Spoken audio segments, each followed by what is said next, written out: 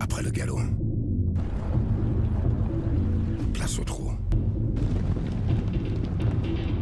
Vous pensiez souffler. Vous vous êtes trompé. Départ le 20 novembre. Epic Series. La course qui ne s'arrête jamais.